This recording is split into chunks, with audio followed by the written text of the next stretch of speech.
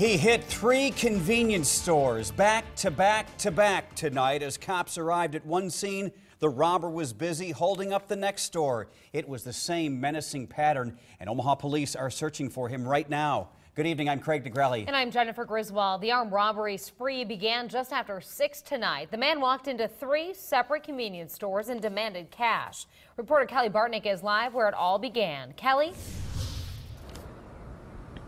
Jenny, police told me tonight there is no doubt that all of these robberies are connected. They've already watched the surveillance videos, starting with this robbery from this mega, sa- mega saver near 40th and Dodge. It's looking like our guy tonight has probably done these before. And after walking into this mega saver at 41st and Dodge, police say it also looks like their suspect did it again. Around 6 Monday night, he held up this convenience store. 30 minutes and five blocks later, police say the same man wearing the same sunglasses, white hoodie, and baby blue shirt pointed a gun at a Mega Saver clerk at 44th and California. We've got two parties detained right now. Um, the vehicle that he was in was a stolen car. It's, it's looking more like we don't have our guy.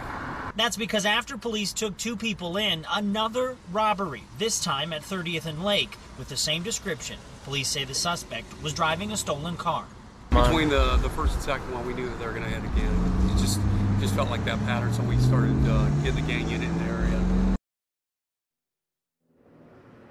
Now, the gang unit has been patrolling not only all the areas surrounding these uh, convenience stores, but other convenience stores as well to try and stop this from happening again or catch that bad guy. And again, we do have an image tonight of him. Police say this is the man. He's a black man between five foot seven and six feet tall, short hair, was wearing sunglasses at the time of the robbery, and he was wearing a white long sleeve shirt, possibly a hoodie with a baby blue shirt over it. Now, police do believe that this man is armed, and if you have any uh, information, please call authorities tonight. Reporting live at 40th and Dodge, Kelly Bartnick, Action 3 News. Tonight's robberies come just weeks after police issued a warning about a pair of aggressive robbers striking businesses across the Omaha area. Last month, police urged the public to help find a pair of men who they believe are responsible for two dozen robberies. Look at some of the video. Investigators say the men work as a team or sometimes with a third accomplice, bursting into stores or restaurants, often pointing guns at clerks.